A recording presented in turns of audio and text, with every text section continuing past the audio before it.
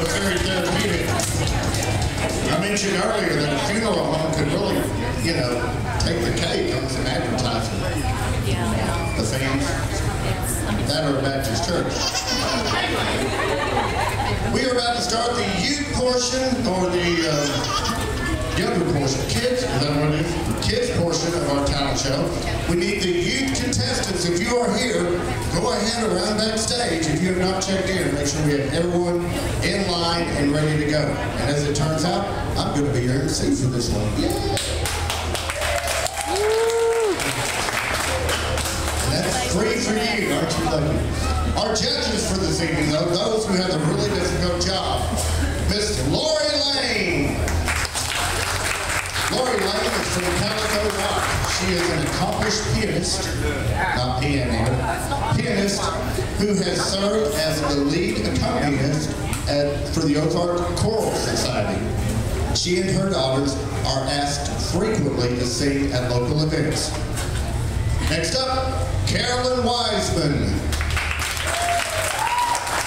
Carolyn is also from Calico Rock. She was the elementary school librarian and music teacher on the band record. Go.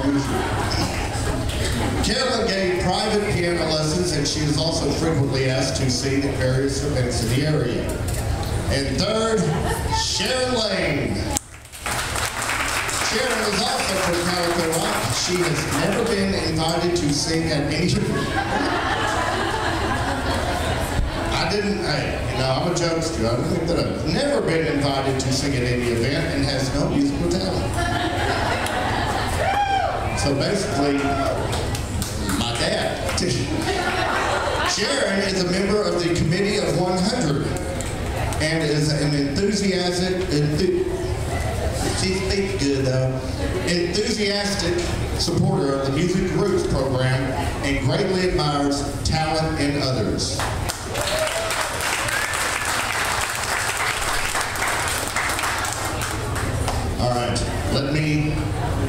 See about getting us in order. Our first one up for this evening is dance solo. Do I have music for that? That's number eight.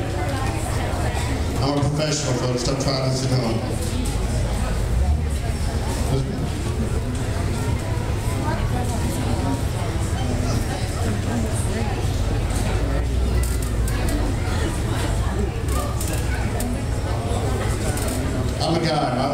Organizational skills are not the best. Everyone will appreciate that statement.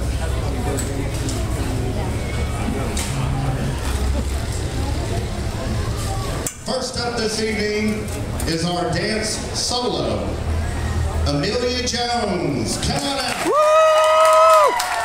Go, Amelia! eight-year-old daughter of Jeremy and Holly Jones of Mountain View. She will be tap dancing to Boot Scootin' Boogie.